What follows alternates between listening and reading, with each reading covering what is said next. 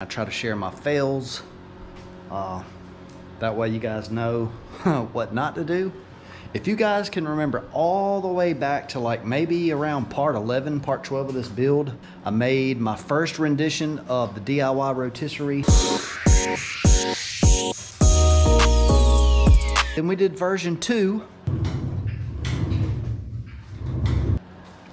And that worked great, except eventually, yeah, eventually even that failed, and I'll show you why.